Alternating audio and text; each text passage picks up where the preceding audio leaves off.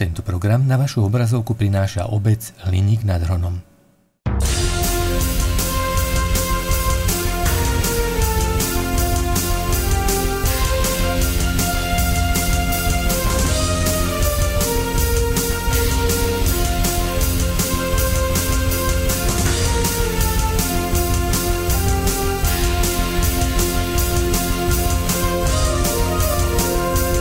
Vážené obecné zastupiteľstvo, ctení hostia, dovolte mi, aby som vás privítala na verejnom zasadnutí obecného zastupiteľstva dnešného dňa 5. októbra 2023 o 18. hodine.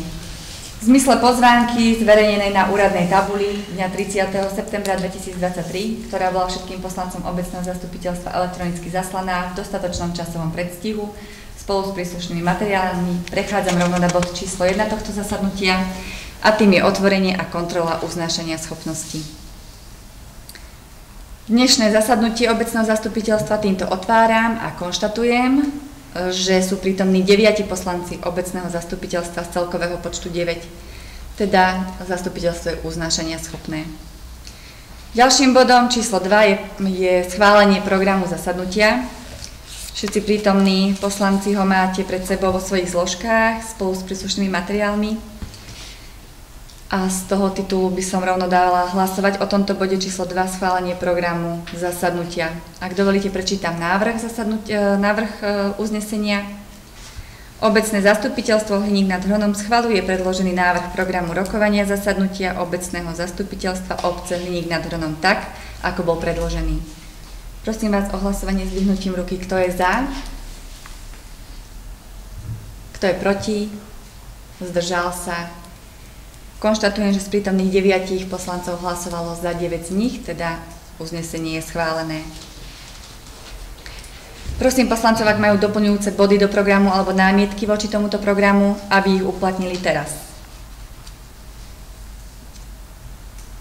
Ak nikto, dovolím si ja podať návrh na zmenu programu dnešného zasadnutia, ktorú sme s poslancami obecného zastupiteľstva pred týmto zasadnutím spoločne odkonzultovali. Jedná sa o nasledovné zmeny. Bod číslo 9. Zámena zmluva o prevode vlastníctva k nehnuteľnosti. Navrhujem zmeniť za bod číslo 9 žiadosť o vytvorenie odvodňovacích žľabov. Dôvodom pre túto zmenu je, že zámer o zámenu pozemkov nebol zverejnený na úradnej tabuli ešte v, v takom počte dní, ako by teda mal byť, takže ešte musíme chvíľku počkať, aby sme mohli o tejto zámenej zmluve rokovať a hlasovať. Ďalej bod číslo 10, zmluva o nájme Časť pozemku parcely registra C číslo 1535 navrhujem zmeniť za bod číslo 10 zmluva o nájme časť pozemku parcely registra E číslo 185 lomeno 12. Dôvodom pre túto zmenu e, je, že k parcele registra C nie je evidovaný právny vzťah na liste vlastníctva a preto treba ísť podľa registra E.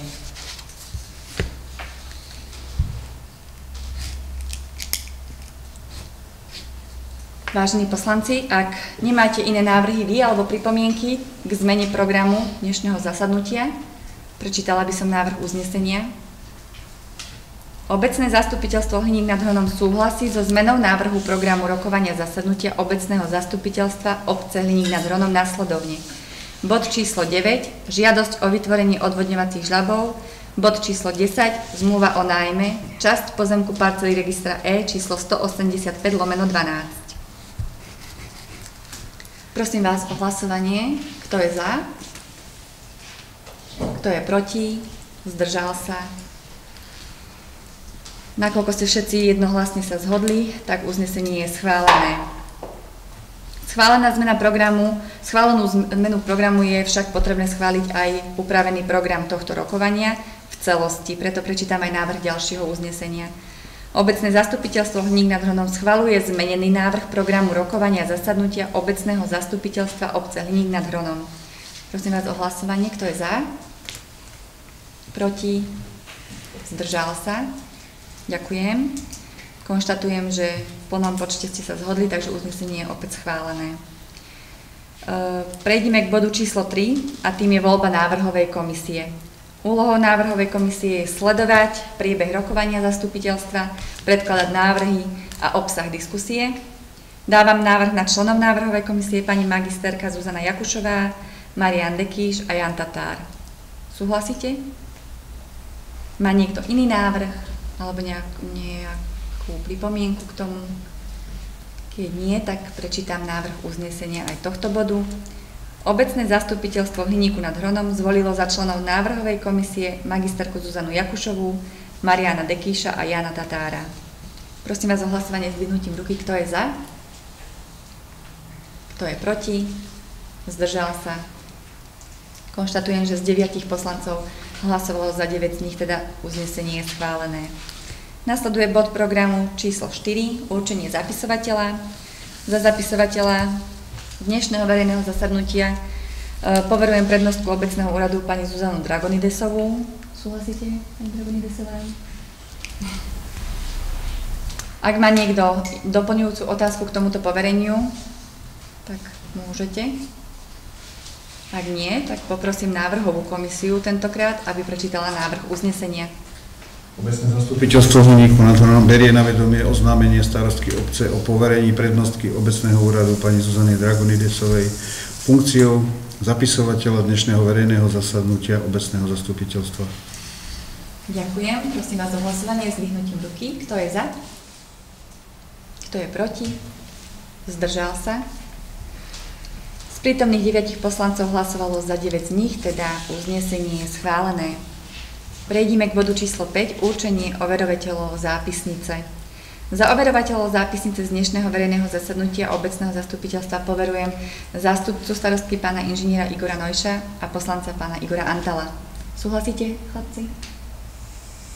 Má niekto doplňujúcu otázku k môjmu povereniu overovateľov zápisnice? Keď nie, tak prečíta, poprosím teda o prečítanie návrhu, návrhu, návrhu uznesenia návrhovú komisiu. Obecné zastupiteľstvo v Hliníku nad Hronom berie na vedomie oznámenie starostky obce o poverení zástupcu starostu pána inžiniera Igora Nojša a poslanca Igora Antala funkciou overovateľov zápisnice z dnešného verejného zasadnutia obecného zastupiteľstva. Ďakujem. Prosím vás o hlasovanie, kto je za? Kto je proti? Zdržal sa? Konštatujem, že z prítomných 9 poslancov hlasovalo za 8 z nich, teda uznesenie je schválené. Ďalším bodom, bodom číslo 6, programu je správa starostky obce Hliny nad Hronom. E, poprosím pána zástupcu inžiniera Igora Nojša o jej prečítanie. Ďakujem pekne za slovo. Dovolte mi, aby som mene pani starostky aspoň skrátke zhrnul, čo sa udialo v našej obci od posledného riadneho zasadnutia obecného zastupiteľstva, ktoré sa konalo 22.6.2023. Pred tromi mesiacmi sme začali pracovať na zmene vzhľadu našej obecnej webovej stránky. V júni sme absolvovali Janské ohne v areáli Lodenice, kde si najmä rodiny s deťmi prišli spríjemniť spoločné chvíle, opieť si špekačky a zasúťažiť si. Nechýbala jazda na koňoch, jazda na obecnom papamobile a symbolické pálenie vatry. Na ulici Partizánskej pionierov a 9. mája sa opravoval plynovod. Žiaľ, až v letnom období boli v niektorých častiach našej obci problémy s verejným osvetlením. Jednalo sa o skrytú vadu, ktorá bola odhalená a odstranená až po dlhšom čase. Bola to závada v zemi s káblom. Koncom júna sa pani starostka v mene našej obce rozlúčila s našimi predškolákmi, ktorí od tohto školského roku nastúpili do prvej triedy. Rozlúčka s deviatakmi bola tento rok trošku netradičná. Pani starostka prichystala pre našich žiakov posedenie v prírode so spoločným obedom a príjemnou hudbou. Na námestí, ako aj v časti pod Kalváriou, pribudli nové lavičky. Začiatkom leta naša obec hostila veteránov historických áv značky Aero. Tak ako každý rok, aj tento rok sa konal turnaj starých pánov o pohár starostky obce Hliník nad Ronom, na ktorom sa zúčastnili tri súťažné týmy, nechýbal guláš a dobrá nálada. Do našej knižnici opäť pribudli nové prírazky, ktoré si môžete prísť kedykoľvek počas otváracích hodín požičať. Koniec júna sme ukončili 0. ročníkom majstra polievkára, počas ktorého sa realizoval aj miniturnaj vo futbale. V mesiaci august si občania mohli prísť dať odmerať svoj zrak do obecného klubu. Aj tento rok sa naša obec zapojila do štafetového behu od Tatier k Dunaju, pri ktorom sme zabezpečili súťažiacim a členom ich tímov malé pohostenie. Dokončilo sa detské ihrisko Mravčekovo v areáli základnej školy, ktoré sa sprístupnilo aj širokej verejnosti. Prázdniny sme spoločne ukončili akciou Majsa leto, počas ktorej, ako je už tradíciou, sa aj zapálila vatra, ktorá bola tento rok chlapmi z Linexu pripovená v dostatočnej výške. Mali sme možnosť pozrieť si prezentáciu výrobkov našich spoluobčanov a občanov z blízkeho okolia, občerstviť sa v stánkoch s lahodným jedlom a zabaviť sa pri príjemnej hudbe. Nezabudli sme ani na to, čo sa patrí k 79. výročiu Slovenského národného povstania. Položili sme pri pamätníku venec na pamiatku našim hrdinom. Mestací september sa v našej obce rozdávali potravinové a hygienické balíčky, preskúšali sme sirény v našej obci a po dlhej dobe sme zorganizovali uvítanie nových občanov v našej obci, čo bolo príjemným spestrením pre nás všetkých. Ako ste si isto všimli, prebiehajú u nás rekonštrukčné práce na ulici Priemyselnej, preto vás touto cestou vyzývame k opatrnosti. V lokalite Hrabiny naši pracovníci technického úseku Hlinex rozšírili spevnenie prístupovej cesty a čiastočne obnovili protipovodňový kanál v tejto lokalite, ktorý sa stal časom znehodnotený. Taktiež sme v súčinnosti s občianským združením Spolok záhradkárov Hliniček zabezpečili rozšírenie panelovej cesty smerom na záhradky.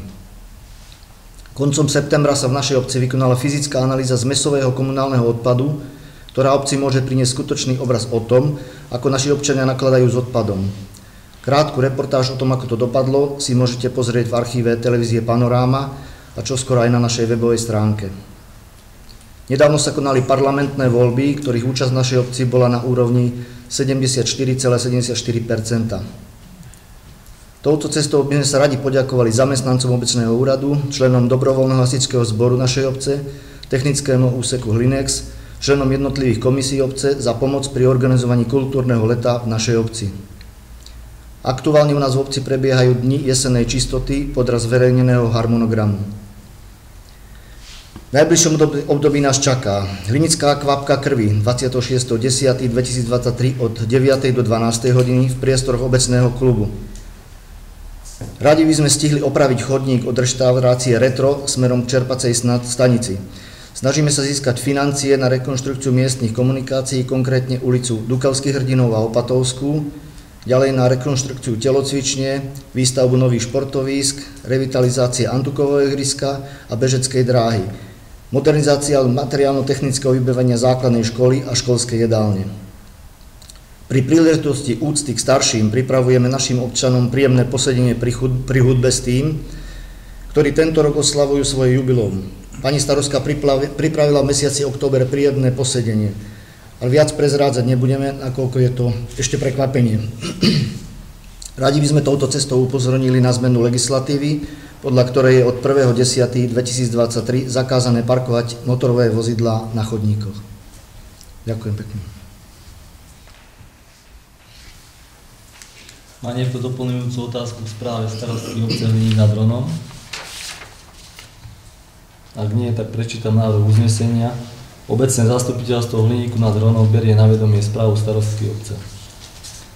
Prosím vás, hlasovaním, eh, hlasovať s ruky. Kto je za? Kto je proti? Zdržal sa? Z prítomných deviatich poslancov hlasovalo za 9 z nich, teda uznesenie je schválené. O každom bode dnešného rokovania sme spolu s poslancami obecného zastupiteľstva rokovali na pracovnej porade, prípadne sme konzultovali niektoré body elektronicky alebo aj telefonicky. Prejdeme tak prosím k hlavným bodom dnešného programu. Prvý je bod číslo 7, rozpočtové opatrenie číslo 5.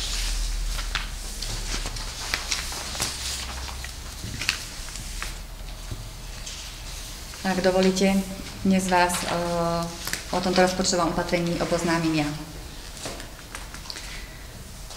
Návrh na rozpočtové opatrenie je povolené prekročenie výdavkov pri dosiahnutí vyšších príjmov, a to zvýšenie príjmov na položkách bežného rozpočtu, za služby e, spojené so stravovaním dôchodcov v sume 14 tisíc eur.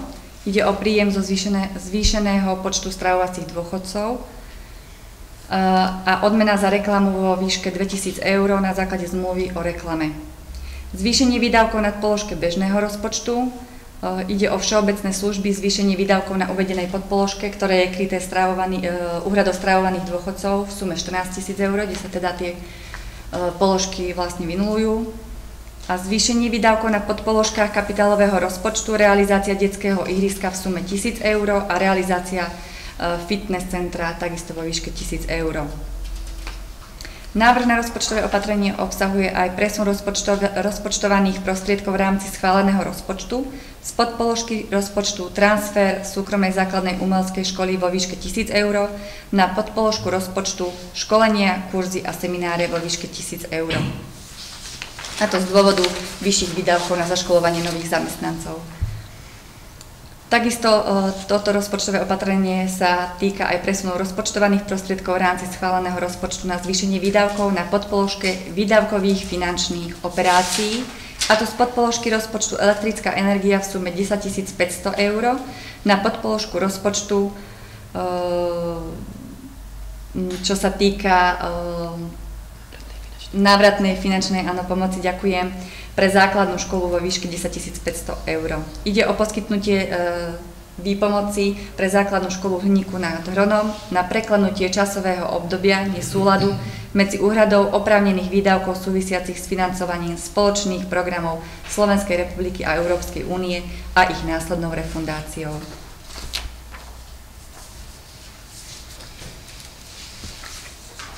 Ak máte niekto nejakú doplňujúcu otázku k tomuto rozpočtovému opatreniu, nech sa páči. Ak teda nie, poprosím návrhovú komisiu. Obecné zastupiteľstvo Hliníku nad Hronom schváluje rozpočtové opatrenie číslo 5. Ďakujem. Poprosím vás o hlasovanie s vyhnutím ruky. Kto je za? Kto je proti? Zdržal sa? Konštatujem, že z prítomných 9 poslancov hlasovalo za 9 z nich, teda uznesenie je schválené. Nasleduje bod číslo 8. Zmluva o pôžičke na vzdy základnej školy. Keďže základná škola podala žiadosť o poskytnutie návratnej finančnej výpomoci, o ktorej sme hovorili aj pri tom rozpočtovom opatrení číslo 5, na zabezpečenie úhrady miest a poistných odvodov do sociálnej poisťovne a zdravotných poisťovní pedagogickým asistentom, asistentom e, učiteľa a členom inkluzívneho týmu, ktoré neboli refundované v roku 2023 za mesiac november a za mesiac december 2023. E, jedná sa vlastne o tú finančnú výpomoc v zmysle tej, e, toho rozpočtového opatrenia, teda vo výške 10 500 eur. Zmluva bola aj zverejnená na webovej stránke, aj teda páni poslanci ju mali k dispozícii. Ak máte niekto nejakú doplňujúcu otázku alebo niečo, čo by ste chceli sa opýtať v tejto zmluve, nech sa páči.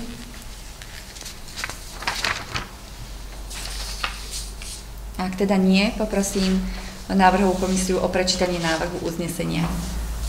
Obecné zastupiteľstvo v Hliníku nad Hronom schváluje uzatvoriť zmluvu o poskytnutí návratnej finančnej výpomoci určenej pre základnú školu Hliník nad Hronom na zabezpečenie úhrady miest a poistných odvodov do sociálnej poisťovne a zdravotných poisťovní dvoch pedagogických asistentov, jedného školského psychológa a čiastočný pracovný úvezok školského špeciálneho pedagóga, ktoré neboli refundované v roku 2023 za mesiac november a za mesiac december 2023 v zmysle článku 6 odseku 2 zmluvy číslo 2023 KGR POP 3 ZŠ PKKE 192 o vzájomnej spolupráci pri implementácii projektových aktivít v rámci projektu Podpora pomáhajúcich profesí 3. Ďakujem. Poprosím vás poslanci o hlasovanie opäť zdvihnutím ruky. Kto je za? Kto je proti? Kto sa zdržal?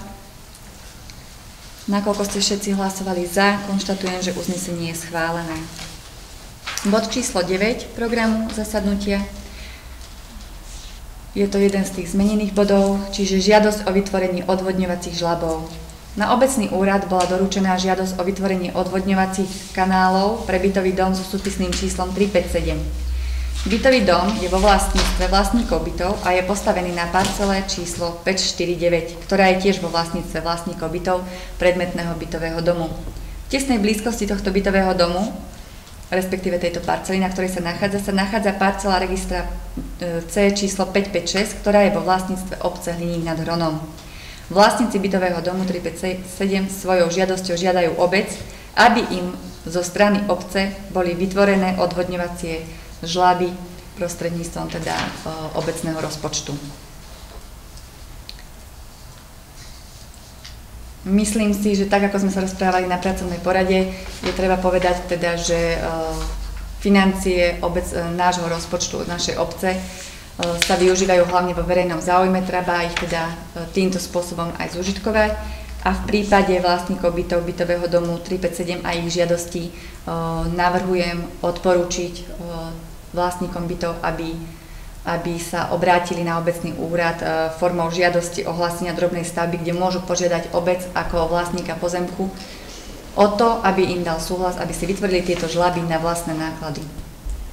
Takže asi toľko. Takto sme sa o tom teda aj s, pán, s poslancami rozprávali. Ak máte k tomu niekto nejakú, e, nejakú ešte informáciu alebo niečo, by ste radi k tomu povedali. Ak nie, poprosím návrhovú komisiu o prečítanie návrhu uznesenia. Obecné zastupiteľstvo Hliníku nad Hronom neschvaluje žiadosť vlastníkov bytov bytového domu so súpisným číslom 357 na vytvorenie odvodňovacích žlabov z rozpočtu obce, ale odporúča podať ohlásenie drobnej stavby, na základe ktorého by si odvodňovacie žlaby mohli so súhlasom vlastníka pozemku vytvoriť na vlastné náklady. Ďakujem. Prosím vás o hlasovanie, kto je za neschválenie tejto žiadosti. Kto je proti? Kto sa zdržal? Konštatujem, že z prítomných 9 poslancov hlasovalo za 9 z nich, teda uznesenie je schválené. Bod číslo 10. Zmluva o nájme čas pozemku parcely registra E, číslo 185 lomeno 12. Aj v zmysle zverejneného zámeru zo dňa 18.8.2023 je možné konštatovať, že ide o žiadosť občana o prenájom časti pozemku, pre účely vybudovania parkovacieho miesta o veľkosti 30 m štvorcových pre jeho motorové vozidlo. Nájomná doba bola stanovená na 10 rokov a ročný nájom vo výške 5 eur za 1 m štvorcový, čo činí 150 eur ročne. Nájomca si na vytýčenej časti predmetnej parcely na vlastné náklady vybuduje parkovacie státie a v zmysle pokynov obce a odporúčení Komisie stavebnej, stavebnej územného plánovania a životného prostredia. Má niekto doplňujúcu otázku k schváľovaniu tejto zmluvy o najmä? Keď nie, dávam slovo návrhovej komisii. Obecné zastupiteľstvo Hliníku nad Hronom schváluje uzatvoriť s pánom Michalom Filipom zmluvu o prenajme pozemku časti parcely registra E číslo 185 lomeno 12 pre účely vytvorenia parkovacieho státia o veľkosti 30 m štvorcových na dobu určitú, a to na 10 rokov s ročným nájmom vo výške 5 eur za meter štvorcový, co činí ročné nájomné v celkovej výške 150 eur. Ďakujem. Poprosím vás o hlasovanie. Kto je za schválenie tejto uh, zmluvy o najme? Kto je proti? Kto sa zdržal?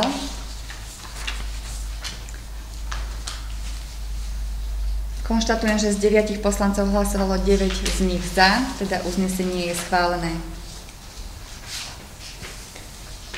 Prejdeme prosím k bodu číslo 11, zmluva o nájme čas pozemku parcely registrácie číslo 21 lomeno 1. Obec má záujem prenajať predmetnú časť pozemku o veľkosti 220 m štvorcových za účelom skultivovania a vyčistenia pozemku, výsadby novej zelene a stromov a za účelom spevnenia svahu, ktorý susedí s pozemkom nájomcu. Doba nájmu je stanovená na 10 rokov s ročným nájmom vo výške 10 centov za 1 m štvorcový, čo činí 22 eur ročne. Má niekto doplňujúcu otázku k tejto zmluve? Cena je správne uvedená 10 centov? Áno, to sme riešili podľa toho zmysle zásad hospodárenia a tak to bolo zverejnené aj v zámere. Dobre. Viem. Dobre. Tak nie, poprosím návrhovú komisiu o prečítanie návrhu uznesenia. Obecné zastupiteľstvo v Hliníku nad Hronom schváluje uzatvoriť s pánom Robertom Podobom zmluvu o prenajme pozemku časti parcely registra C číslo 21 lomeno 1 pre účely skultivovania a vyčistenia pozemku, výsadby novej zelene a stromov a za účelom spevnenia svahu o veľkosti 220 m štvorcových na dobu určitú, a to na 10 rokov s ročným nájmom vo výške 0,10 eur za 1 m štvorcový, čo činí ročné nájomné v celkovej výške 22 eur. Ďakujem. Poprosím vás o zahlasovanie. Kto je za? Kto je proti? Zdržal sa? Z prítomných poslancov hlasovalo 9 z nich za, teda uznesenie je schválené. Bod číslo 12, kúpna zmluva, pozemky parcely registrace číslo 3814, 3815 a 3816. Jedná sa o pozemky, na ktorých sa nachádzajú 4 objekty včeli, včelnice, súpisné číslo 1038, 1039, 1040, dve chatky, 1041 a dva včeliny, ktoré sú vo vlastníctve e, kupujúceho a na ktorých sa po generácie chovajú včely, pričom kupujúci má vážny záujem v tomto chove včiel pokračovať. Tento prevod nehnuteľnosti z dôvodu hodného osobitného zreteľa má stanovenú kúpnu cenu vo výške 10 eur na meter štvorcový, čo činí kúpnu cenu v celkovej výške 5800 eur. Má niekto otázku k tejto kúpnej zmluve? Ak nie, poprosím návrhovú komisiu o prečítanie návrhu uznesenia. Obecné zastupiteľstvo Horníku nad Hronom schváluje uzatvoriť s pánom Renadera Andrejom Cabánikom kúpnu zmluvu o prevode vlastníckého práva k nehnuteľnostiam parcely registra C číslo 3814, parcely registra C číslo 3815 a parcely registra C číslo 3816 za kúpnu cenu 5800 eur. Ďakujem. Poprosím vás o zahlasovanie, kto je za, kto je proti, zdržal sa prítomných poslancov hlasovalo za 9 z nich, teda uznesenie je schválené. Nasledujú body, v ktorých e, obecné zastupiteľstvo bude schváľovať, respektíve neschváľovať zámer o prenajme alebo o, od, o odpredaji majetku obec, obecného v zmysle doručených žiadostí našich občanov. Nakoľko prevodu a prenajmu, prenajme majetku obce nad 1 rok má predchádzať zámer obce, ktorý musí byť zverejnený na úradnej tabuli obce aspoň po dobu 15 dní pred samotným zasadnutím obecného zastupiteľstva, schvaľujúceho predmetný prevod a prenájom. Až následne na ďalšom zasadnutí obecného zastupiteľstva bude možné schvaľovať konkrétny zmluvný vzťah. Nasleduje teda bod číslo 13, Zámer previesť majetok obce, a to čas pozemku parcely registra E číslo 9 pomočka 152 lomeno 23. Na obecný úrad bola doručená žiadosť o odkúpenie predmetnej časti pozemku. Bolo zistené, že táto parcela je roztrieštená na troch nezávislých častiach obce a preto nie je možné v tomto okamihu schvalovať zámer previesť tento majetok obce do, do doby, kým nebude zhotovený geometrický plán, ktorým sa stanoví presná výmera časti pozemku na odpredaj. Preto navrhujem obecnému zastupiteľstvu schváliť e, žiadosť o odkúpenie pozemku so stanovením podmienky zhotovenia geometrického plánu. Vo svojom materiáli máte aj ten za nákres. Ak si spomínate? Áno, to, čo sme si pôvodne mysleli, že je niekde inde. Čo sme si mysleli, že ide o tú časť, kde, je kanalizácia, áno. Za vodovod, takže navrhujem teda, aby sme žiadateľovi dali odporu, mm, odsúhlasili žiadosť v prípade, že teda vyhotoví geometrický plán. Keď sa vyhotoví, tak potom môžeme hovoriť o zámere a následnom odpredaji danej časti pozemku. Ak nemáte teda žiadne otázky alebo námietky, návrhy, tak o čom budeme hlasovať teraz? O zámere. Nie, nie, schvalovať žiadosť budeme.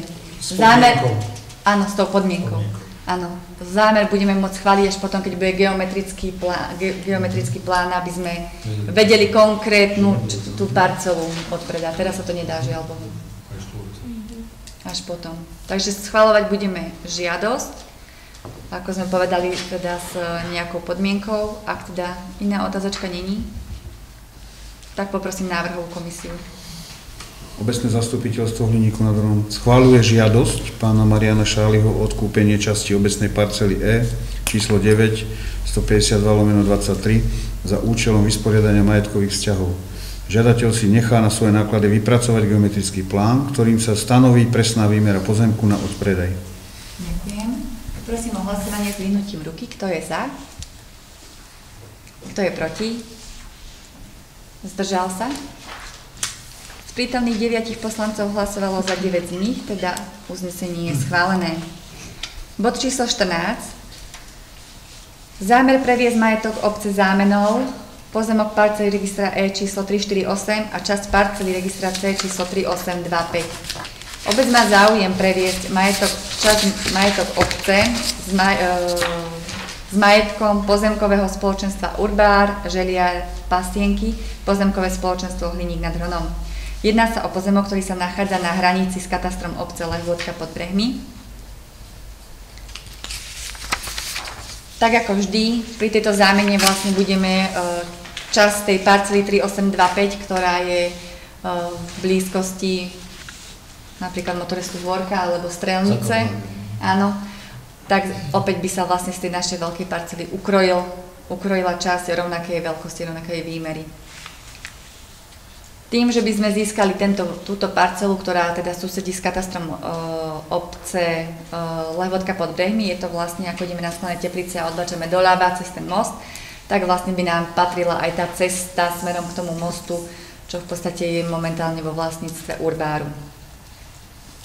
Ak nemáte doplňujúce otázky k tomuto zámeru, ktorý vidíte aj pred sebou, nemáte ho? No, dobre. Dobre. Máte otázky? Nemáme otázky. Nemáte otázky. Dobre. Tak poprosím o prečítanie uznesenia návrhu komisiu. Obecné zastupiteľstvo v Hliníku nad Hronom schváluje zámer prevodu nehnuteľného obecného majetku, časť pozemku parcely registra C číslo 3825 o veľkosti 24,012 m štvorcového. 24 tisíc. 24 tisíc, aha, 24 tisíc 12. Myslela som si, že to je čiarka, je to bodka. Prevádzaný podiel o veľkosti 2838 m štvorcových, zapísaný na liste vlastníctva číslo 1954 ako trvalý trávny porast na členov pozemkového spoločenstva Urbár, Želiar, Pasienky, pozemkové spoločenstvo Hliník nad Hronom a pozemku pozemkového spoločenstva Urbár, Želiar, Pasienky, pozemkové spoločenstvo Hliník nad Hronom, parcela registra E, číslo 348 o veľkosti 2838 m štvorcových, zapísaný na liste vlastníctva číslo 1375 ako trvalý trávny porast na obec Hliník nad Hronom, a to priamou zámenou, bezodplatne, z dôvodu hodného osobitného zreteľa, ktorým je majetkovo-právne vysporiadanie pozemkov obce. Ďakujem. Prosím vás o zahlasovanie, kto je za tento zámer, kto je proti, zdržal sa. Všetci deviatí poslanci hlasovali za, takže uznesenie je schválené. Bod číslo 15, zámer prenajať majetok obce, časť pozemku parcely registrácie číslo 898 lomeno 1. Obec má záujem prenajať časť svojho majetku pre účely vytvorenia parkovacích státi žiadateľov. Jedná sa o ulicu Mierovú. Na obecný úrad boli doručené k dnešnému dňu dve žiadosti. Navrhujeme zámer, e, navrhujem tento zámer prenajať majetok e, schváliť, aby sme vedeli, či je nejaký záujem zo strany obyvateľov danej ulice o vytvorenie si parkovacích miest a následne by sme potom mohli rozhodnúť, či vieme týmto obyvateľom nejako pomôcť. Ak máte niekto nejakú otázku, poprosím vás, aby ste ju predložili, alebo nejaký iný návrh. Len možno, aby to bolo jasné, že to nejdeme schvalovať nejakému konkrétnemu človeku, Zatiaľ ale nie. je to len zámer a môžu si požiadať tí obyvateľe. Áno. Poprosím teda návrhovú komisiu o prečítanie uznesenia. Obecné zastupiteľstvo Hliníku nad Hronom schvaluje zámer o prenájme časti pozemku parcely registra C číslo 898 lomeno 1 za ročné nájomné 5 eur za meter štvorcový a to pre účely vybudovania parkovacích státí na vlastné náklady žiadateľov. Prosím vás o zahlasovanie. Kto je za schválenie tohto zámeru? Kto je proti? Zdržal sa. Z prítomných 9 poslancov hlasovalo za 9 z nich, teda uznesenie je schválené. Bod číslo 16. Schválenie nového člena zboru pre občianske záležitosti. Člen e, pani Mária Šovčíková dobrovoľne vystúpila zo Združenia pre občianske záležitosti a preto je potrebné za ňu zvoliť inú osobu. Navrhujem pani Luciu Horákovú, ktorá so svojím zvolením súhlasila. Ak máte iný návrh, koho by sme mohli e, navrhnúť na túto začlena spozu, prosím vás, aby ste nám ten návrh predložili.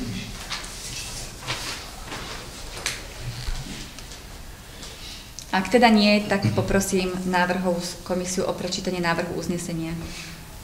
Obecné zastupiteľstvo Hliníku nad Hronom schvaluje nového člena zboru pre občianske záležitosti pani inžinierku Luciu Horákovú. Ďakujem. Poprosím vás o hlasovanie. Kto je za? Kto je proti? Zdržal sa? Nakoľko ste hlasovali všetci za, uznesenie je schválené. Žiadosť o odkúpenie pozemku parcely registrácie číslo 1488 lomeno 8. Je to bod číslo 17. Na obecný úrad nám bola doručená takáto žiadosť. Uh, pri... Tam ide o... Tento poznášok. Ide o pozemok v tesnej blízkosti areálu Hlinex alebo aj teda dobrovoľného hasičského zboru hasičskej stanice. Počas pracovnej porady e, sme s poslancami rokovali a e, bol, sme za to, že predmet žiadosti nie je v súlade so zájmami obce Hliník nad Hronom. Preto navrhujem, aby sme túto žiadosť neschválili. Ak máte niekto nejakú doplňujúcu otázku alebo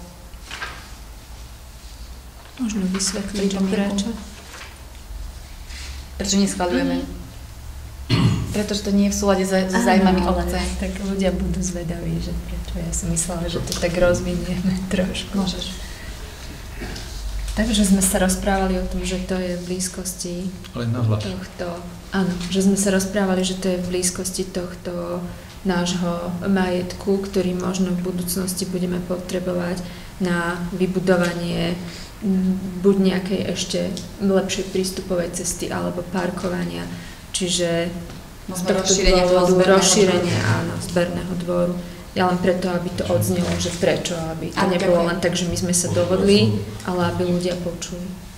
Áno. Áno, nech sa páči.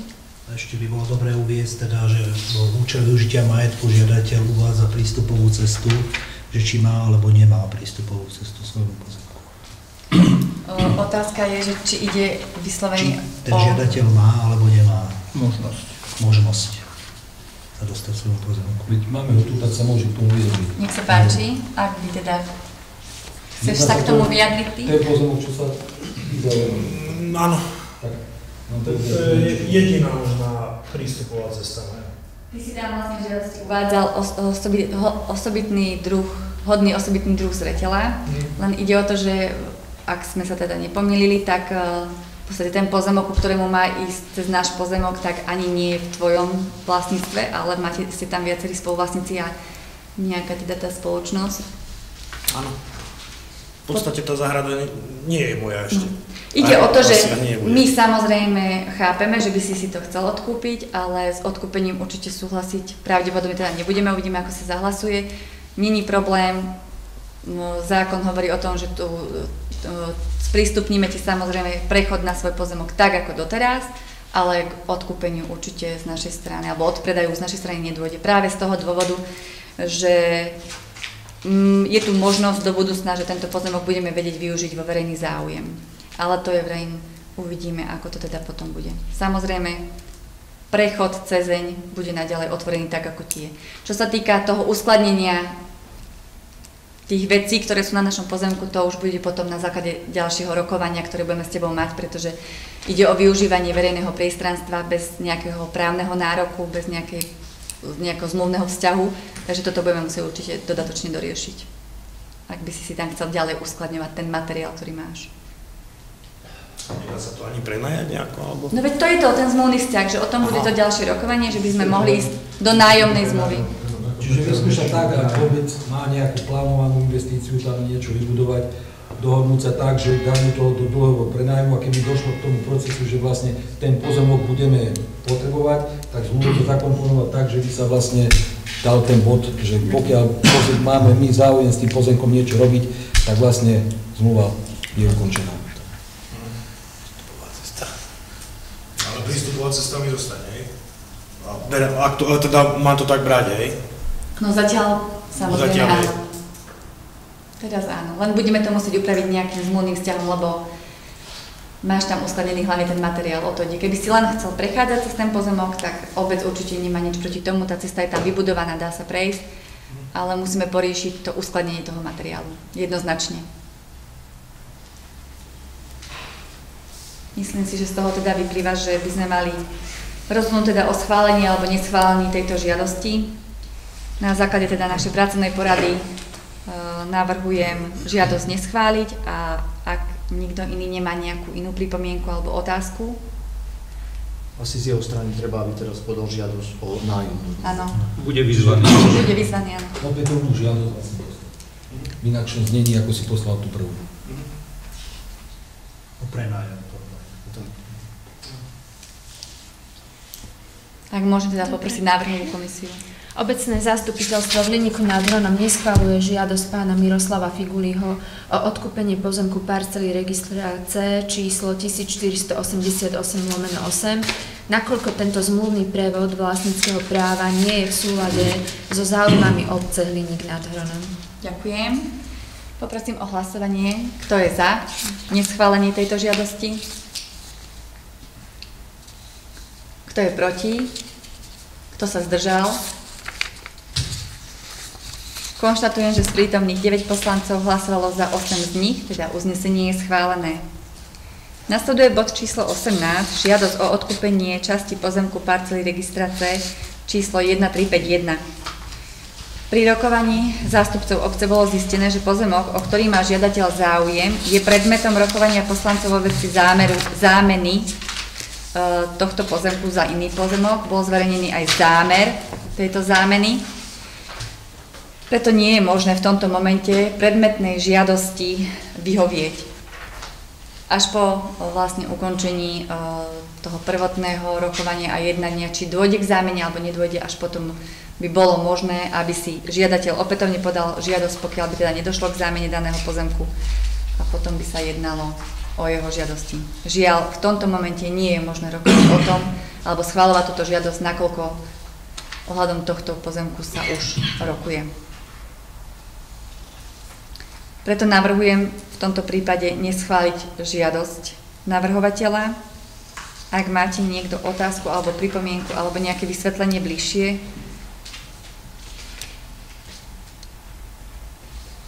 tak poprosím návrhovú komisiu o prečítanie návrhu uznesenia. Obecné zastupiteľstvo Hliníku nad Hronom neschváluje žiadosť pána inžiniera Miloša Machálika o odkúpenie časti pozemku parcely registra C číslo 1351, nakoľko obec dňa 18.8.2023 zverejnila svoj zámer predmetný pozemok previesť priamo zámenou. Ďakujem. Prosím vás o zahlasovanie. Kto je za? Kto je proti? Zdržal sa? Z prítomných 9 poslancov hlasovalo za 9 z nich. Uznesenie je tak schválené. Bod číslo 19. Žiadosť o odkúpenie časti pozemku parcely registrácie číslo 553 lomeno 1.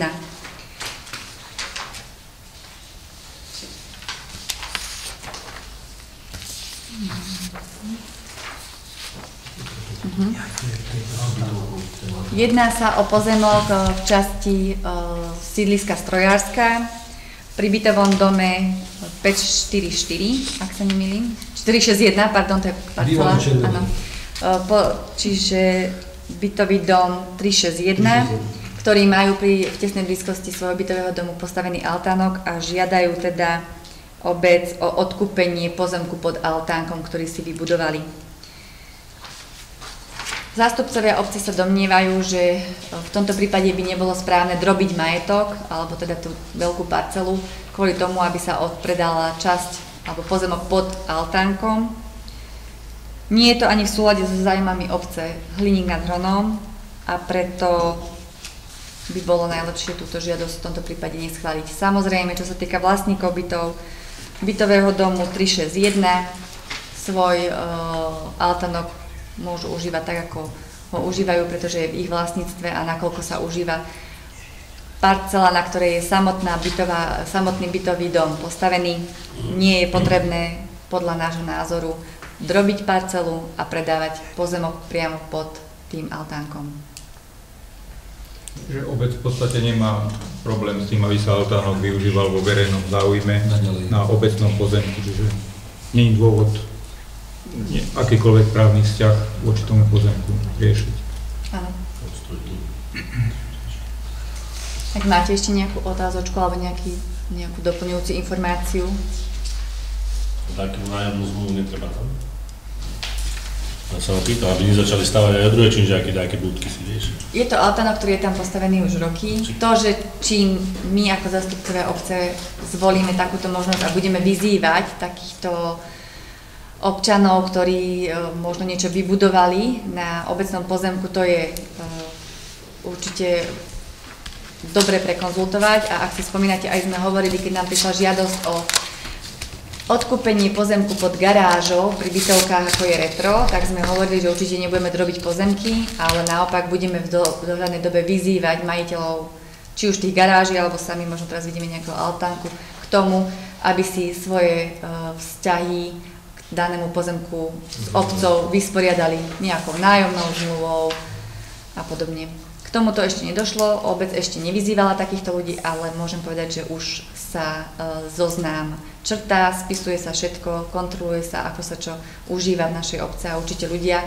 ktorí ten verejný, verejné priestranstvo využívajú vo svoj prospech bez nejakého zmluvného vzťahu, určite budú na to vyzvaní. Pokiaľ samozrejme vy tak rozhodnete tak ako sme sa o tom rozprávali aj naposledy teda.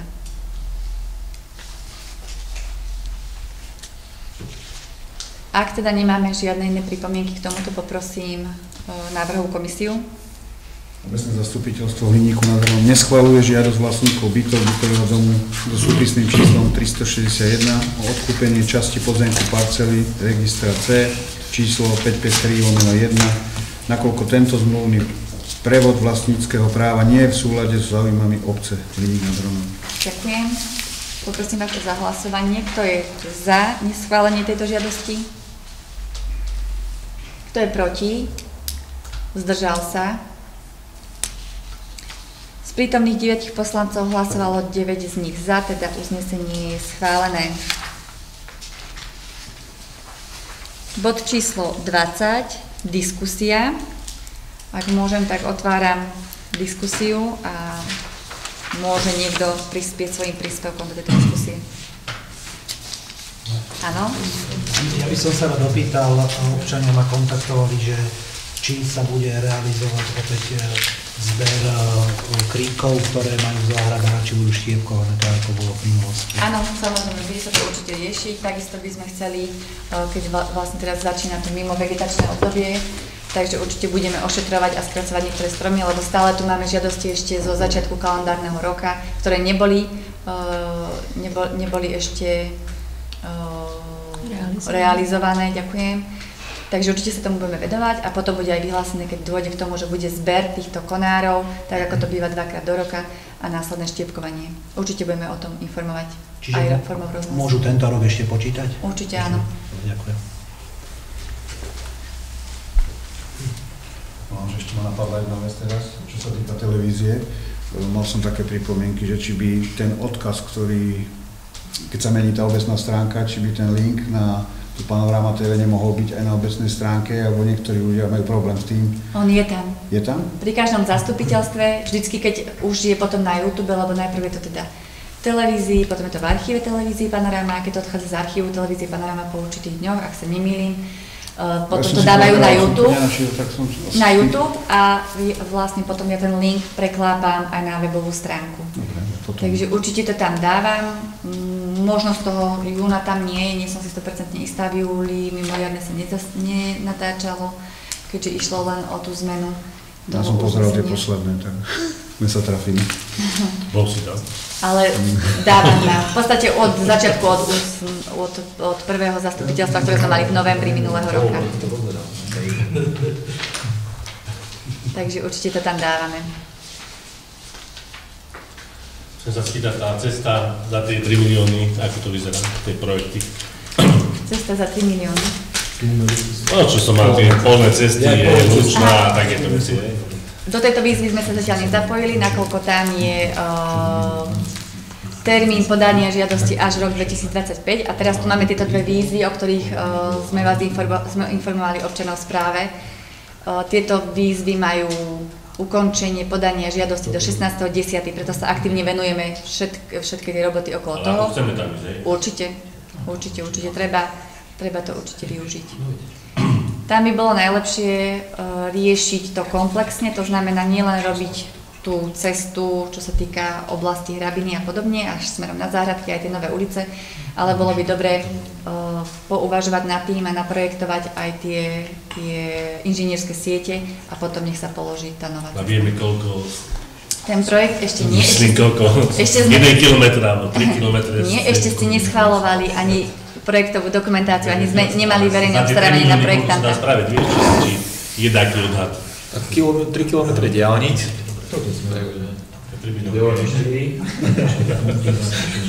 Ťažko povedať. Uvidíme. Každopádne, pr- mini, e, treba urobiť na to projekt a na tie inžinierské siete, aby sa tie ulice začali robiť a potom ľudia mohli stavať. Takže určite do toho pôjdeme.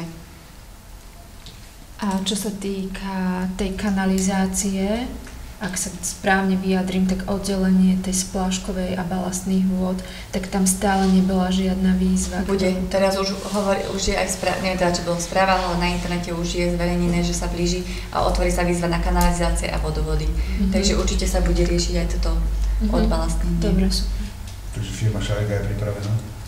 Určite áno. Aby to tento raz stihli. Áno, určite áno. Je to po, už je to aj povolenie, je stavebné? Či ešte. Nie, nie. Aspoň takú informáciu sme naposledy ešte nedostali. Pán Baran, vy ste ešte chcel? Nie, ďakujem, ja som už počul to, čo Dobre. som chcel. a- Áno. Ja sa ešte opýtam takú staršiu otázku. Otváracie hodiny obecného úradu boli občanom slúbené, Áno. že budú 5 krát do týždňa. Bolo slúbené, že keď uvidíme, ako na obecnom úrade to funguje a či je možné, aby bolo len jeden nestránkový deň, takže by sa to určite urobilo. Nedá sa to, pretože naozaj tí ľudia potrebujú mať tie dva nestránkové dni preto, aby administratívne všetko, čo majú riešiť, poriešili, aby mohli riešiť, uh, byť na online školeniach, pretože neustále sa tá legislatíva v niečom mení a každý jeden ten zamestnanec svojej agendy, vezmeme to tak, že mnohí zamestnanci majú na sebe viacero agent, čiže sa musia zúčastňovať viacerých školení, okrem toho behajú na rôzne úrady, zasadajú s rôznymi inými okreskovými alebo inými uh, orgánmi. Je to pre nich dosť náročné. Takže zatiaľ, keď sme sa aj na pracovnej porade, ktoré mávame každý týždeň pravidelne so zamestnancami obecného úradu, rozprávali a pýtala som sa ich, či si vedia predstaviť, že by sme nestránkový deň urobili iba jeden, Eh, tak eh, požiadali ma určite, že aby som im nebrala ten, aj ten, aby som im nebrala ani jeden stránkový deň, nakoľko ich naozaj potrebujú a sú naozaj vtedy dostatočne vyťažení. Musím ale povedať, aj na dverách je to, aj všade hovoríme, že to, že nie stránkový deň neznamená, že my tu nie sme. Ľudia vedia, na dverách je telefónne číslo, majú tam informáciu, volať na ktorúkoľvek agendu, ktorú potrebujú. Aj tak robia, máme tu aj zvonček, ktorým si môžu zazvoniť, ak by nemali pri sebe telefón. Takže myslím si, že vždycky v nestránkový deň vždy, vždy, vždy vybavíme, keď ktokoľvek zaklopká, zazvoní alebo zavolá na telefón. Nikdy nie je odmietnutý. Dobre, ďakujem. Prosím. Chcem sa spýtať, Áno, je možné opraviť cestu k veterinárovi? k takému veterinárovi. No to je, patrí to pod liní, hej, veterinárna, na Ždanské ihrisko, čo sa ide. Keby sme hovorili o tej výzve, čo sa týka polných ciest, museli by sme sa pozrieť do katastra, do, na liste vlastníctva, že aká je to cesta. Či je to polná cesta, alebo je to už miestna komunikácia. V tom prípade by na cestu výzvu nemohlo ísť a museli by sme hľadať iné možnosti. Iné možnosti sa nám tiež črtajú. Je tu, je tu teda nejaká predispozícia toho, že v budúcom kalendárnom roku bude uh, zverejnená, vyhlásená nejaká výzva na rekonštrukciu miestnych komunikácií obcí a miest kompletne. Čo sa týka, bola, vyhla, bola rozoslaná anketa ohľadom tohto, naša obec sa do ankety zapojila, nahlasila počet miestnych komunikácií, aj dĺžku miestnych komunikácií, o ktoré by sme mali záujem na tú rekonštrukciu. Je to tam strašne tak horšie ako na Lodincu. Áno, je. Preto sa Ale takých ciest je tu veľa. No, podľa mňa nie. Máme tie trte. Podľa mňa nie. Či by sa to nedalo aspoň... Nie, volá, čo tam nasypať, aspoň, aspoň teda tu drže a uvalcovať to, nahriato, lebo to tam je strašné. Aspoň trošku. Teraz sme, Tam sú jama, tam sa nemá, že ideš do menšej jamy z väčšej jamy. je to tam veľmi ťažké. Takže si určite. myslím, že tá drž, keby sa tam nasypala Treba sa nahrialo, určite na to pozrieť, v akom je toto majetkovom právnom vysporiadaní táto cesta, ako je to teda evidované lebo je to katastri. čas líny, teda tak neviem, alebo aký. Len musíme pozrieť, o akú cestu ide, či naozaj či ide o polnú cestu alebo akú a potom musíme nájsť nejaké riešenie. Najlepšie je ísť cez výzvy, lebo z rozpočtu obce niečo také neutiahneme. Určite by nám to chýbalo. Budeme čakať na výzvu, vieš, to, to, to. No, ja sa chcem ešte opýtať, e, na pracovnom zastupiteľstve sme riešili Lodinica. V akom štádiu to je? Teraz čo myslíš, povedz? Nájomníci noví. Veď sme, no, nájomníci noví versus nájomník starý. No, zatiaľ bola, tak ako sme hovor- hovorili, vypovedaná nájomná zmluva aktuálnemu nájomníkovi. V dohľadnej dobe bude vyt- e, zverejnené výberové konanie na nového nájomcu Lodenice, kde sa budú môcť záujemcovia prihlasovať. S tým, tak ako sme vraveli na pracovnej porade, jednou z podmienok bude predloženie nejakej projektovej vízie, zámeru, ako by to, ako by to s tou lodenicou ten dotyčný nájomca vedel nejako z, zrevitalizovať, trošku upraviť, samozrejme za pomoci financií obce. Takže tak. Určite v dohľadnej dobe bude toto výberové konanie Čiže vlastne zverejnené. výpovedná lehota už plinie? Áno. Áno. A starý nájomca si vyplatil všetky podložnosti, alebo momentálne ešte nie? Áno. Hej, dobre. Kľudne môžeme ešte. Dávajte. Cyklochodníky, ako to vyzerá? Veľa bicyklistov je v Lidníku, nielen detí malých ihriskiek dosť, takže teraz aj Rokovali, ro, bolo rokovanie ohľadom teda tej cyklotrasy, ktorá uh, je v záujme, uh, ktorej vytvorenie je v záujme nášho bansko kraja. Mala by viesť podľa prognózy a podľa toho, čo nám hovorili na seminári, uh, od Budče až po Hronský Beňadík. Zapojená do toho je aj naša obec, e, nejaká vízia, kadiaľ by tá cyklotrasa mala viesť, tak tam tá vízia je, dokonca majú plán B aj C. Uvidíme, prečo sa rozhodnú. To školenie alebo seminár, ktorý sme mali tými kompetentnými ľuďmi, bol práve o tom, že chceli vedieť, ako to na tom našom území je v tom katastri, kadiaľ by sme my odporúčali, aby tá cyklotra, ten cyklochodník išiel. Apelovala som na to, aby, aby sa um, premosťovalo pri lodenici, ktorá by teda dovtedy už mohla byť zrevitalizovaná, mohla by mm, určite prilákať nejakých turistov, čiže premostilo by sa pri lodenici a cez lodenicu by sa potom išlo smerom popri diálnici až na až No, do, tam tá cesta je v podstate otvorená, tu máme výhodu. to je výhoda, to povedali aj to, že keď sa bude vlastne nejako um, zadelovať, v ktorých častiach celého to, tej cyklotrasy, ktorá má viesť, uh, kde začnú, tak určite by chceli začať tými jednoduchšími úpravami, to znamená, kde je majetkovo-právne vyrovnanie, kde je nejaká predispozícia, kadiaľ by to malo ísť. Ja si myslím, že my tak, takéto body splňame. Otázne je už, ako sa k tomu postavia oni. Čo sa týka časového hľadiska, neviem vám povedať, nevedel, nevedel nám povedať ani ten pán, ktorý to mal na starosti. Mali sme tu Lebo tie... tie, teda tie výzvy sú, akože tieto okresné Tie- mesta to a tie obce, či to je zase inšie? To je niečo iné, to Aha. sú výzvy konkrétne v tej obci. Tá obec si dá výzvu, e, požiada o tú dotáciu a vo svojej obci môže mať tú cyklotrasu. Keď som riešila na, na kompetentnom úrade, či by nám odporúčali cyklotrasu cez našu obec, alebo kadiaľ by sme ich mohli viesť, keďže tu máme cesty dosť úzke, sami viete, že máme problém s parkovaním. A teraz keď sa už nesmie na, parkovať na chodníkoch, tak tie cesty budú ešte viac zúžené tým, že budú auta parkovať viac na tej ceste. Tak nám neodporúčajú robiť cyklotrasy cez obec, kade tade, ale skôr by sme teda mohli ísť po, poza obec, napríklad práve tá cesta od Lodenici smerom na Rybište. To sa dá z tejto výzvy hej, spraviť, či a nie? Tam sme sa zapojili do tej celoregionálnej výzvy, takže tam vlastne tie financie sa priamo rieši cez tú Vúcku. Len my musíme dať súhlas, že chceme, aby to išlo cez náš kataster, lebo by si našli aj inú, inú možnosť. A čo sa týka teraz vlastne toho parkovania, ako budeme vôbec riešiť, keď sa to nebude dodržiavať? Máme nejakú víziu na to? Čo sa týka parkovania všeobecne, od 1. alebo len chodníky? Celkovo myslím ako chodníky. Od 1.10. vlastne vyšiel tá novelizácia ako zákonu, že či máme nejaké páky na to, aby sme to mohli riešiť. Áno. Riešenie parkovania v obci eh, je v kompetencii obce, to znamená prostredníctvom prístupkových konaní môže obec udeliť tak, takýmto výnikom, áno, pokuty blokové alebo rozkazné konania v tomto prípade. A takisto sem samozrejme môžu prísť policajti štátni, ktorí takisto môžu pokutovať ľudí. Takže asi tak ja, je. Pôjdu okolo a aha, pánko tu stojí. Môžu. Majú na to právo. Čiže švermovanie robí na chodník. a chcel si ho, veľmi si ho chcel. Som si to rozmyslel. Keď už hovoríme o tých úzkých cestách, tak riešime vlastne tú jednosmerku alebo žiadosť o jednosmerku v ulici, kde bývajú Horákovci, Kováčovci. A tam sa nám policajti vyjadrili, že máme doplniť ešte nejaké... Projektovú dokumentáciu, ak by sme mali záujem o zriadenie jednosmernej ulici, pričom teda aj žiadatelia e, tejto ulice, ako sa nevieme?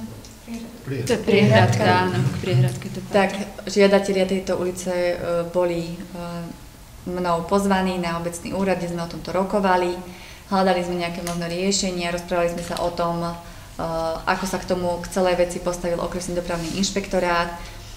A v podstate sme sa dohodli na tom, že ak teda oni doložia statický posudok o tom, že kvôli, kvôli ochrane ich majetku je potrebné zaviesť tú jednosmernú ulicu, tak potom je tu krok, eh, ktorý bude čakať nás a to je zriadenie, dať si vypracovať projektovú dokumentáciu, ak budeme teda chcieť dopravnú projektovú dokumentáciu, tomu, aby sme tam tú jednosmerku potom čas zaviedli. Takže asi tak. A vlastne policajti nám ne, nevydali stanovisko, že či to tam odporúčajú alebo nie. nie. Iba zamietli, že by to tam teraz malo byť, nakoľko by potrebovali mm. mať viac informácií, hlavne tú dopravnú projektovú dokumentáciu. Ja to vláde poviem. Veď to sme riešili, to sme sa rozprávali o tom, že keď sa to spraví, tak Vaša ulica bude... petíciu. Že ktorým smerom od radosti? No, bojíme sa toho, samozrejme, že viem, že sa tu aj vy všetci obávate, že keby sa tam jednosmerná ulica zriadila, že by boli teda iné ulice uh, viac frekventovanejšie. Povedzme si na rovinu ulica, kde máme sovietskú armádu, sovietské armády a tam máme jednotu, tak tam je to plné. Hej, tam tak, keď ľudia stoja, tak ledva niekedy vie jedno auto prejsť, lebo stojíme kadijako. Takže je to určite o tom, aby, aby nám ten okresný dopravný inšpektorát dal to stanovisko alebo ten súhlas taký, aby to neohrozovalo obyvateľov alebo obyvateľov iných ulic. No. Uvidíme, aký bude ten statický posudok, mm-hmm. statika ohľadom domov, vlastníkov, ktorí, ktorí bývajú na tej ulici, kde žiadajú jednosmerku. Tam sa podľa toho uvidí. To, to už je jasné teraz. Podľa toho uvidíme. Už aby som si ja dal vypracovať.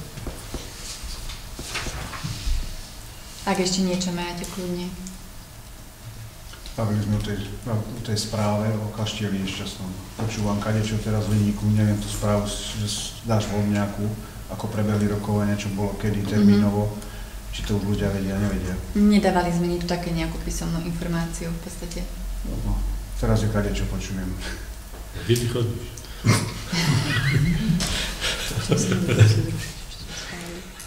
Áno? Dobre. Dobre. Bude sa to musieť riešiť aj oficiálne. Aby sme neboli, že sme zamietli niečo, čo je proti obci. My sme zámer schválili, že by sme chceli Veď- odkúpiť. veď ja- My, to- my to tu všetci vieme, ako to bolo, len aby sme vedeli. Vysvetlíš, že aké podmienky si oni položili No, vlastne. budeme musieť urobiť nejakú určite písomnú správu, ktorú by sme zver- zverejnili tým ľuďom, aká tam bola navrhovaná kúpna, predajná cena, teda, alebo kúpna cena v našom prípade. A ako, ako Do detailov sa nemusí úplne ísť, ale dá sa všetko. niečo, keď vyjde od nás, bude lepšie vždycky, ako keď jedna babka povedala. Dobre, dobre, určite to beriem na vedomie a spravím takú správu.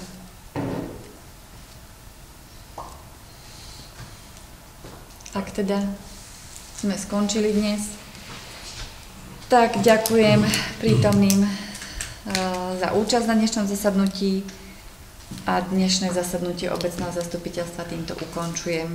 Pekný večer vám prajem, večer áno, pekný večer a ďakujem.